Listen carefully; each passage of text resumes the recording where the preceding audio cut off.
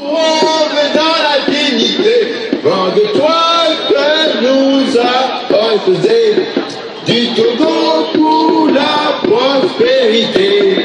Togo le bien, bâtissons-la.